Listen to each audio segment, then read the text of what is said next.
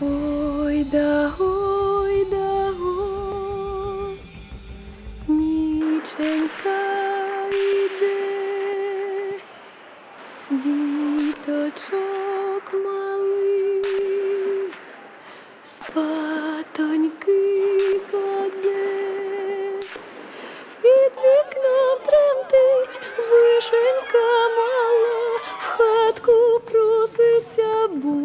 прийшла зима.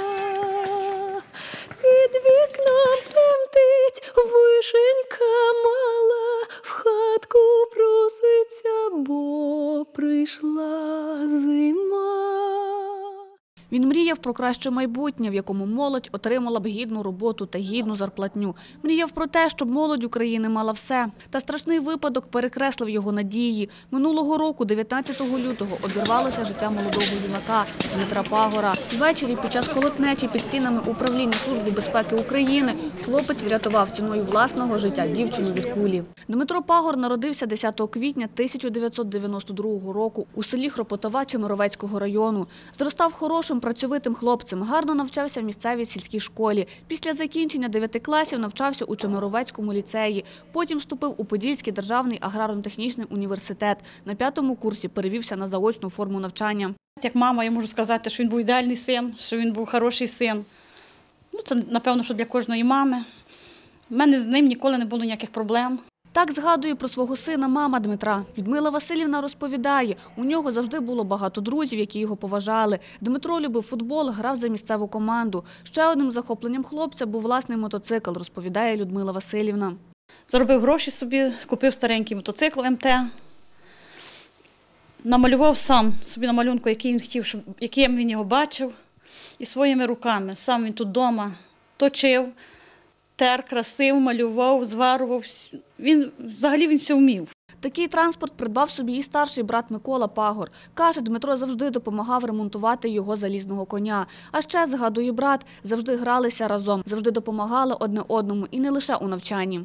Мій брат був молодший, він боявся, був е, трошки темноти боявся і грому. То він, коли грім гримів, блискавка, то він завжди приходив до мене, ми разом лягали, засинали на одній постелі. Оце дуже добре, я сильно пам'ятаю. Сусідка родини Пагорів Ганна Яскін ділиться лише позитивними спогадами, які пов'язані з Дмитром. Знаєте, не вистачає його, той- того його юмору такого. Він постійно такий був усміхнений, постійно веселий. Лише кмітливим та здібним учнем пам'ятають Дмитра його шкільні вчителі.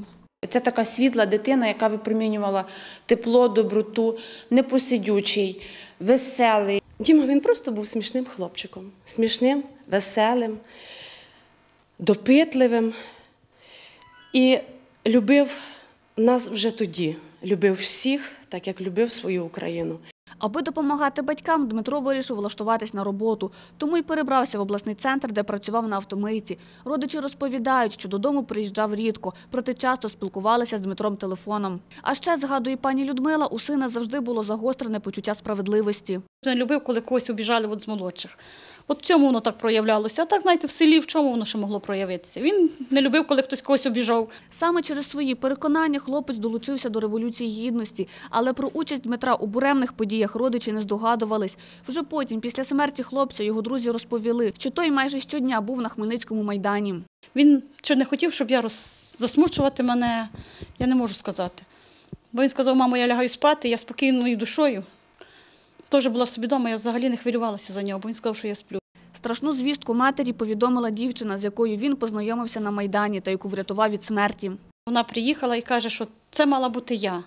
А я кажу, а що це мало бути? Ти каже, бо того, що він мене відштовхнув. І кажу, я побачила вже тільки, що він вже лежить.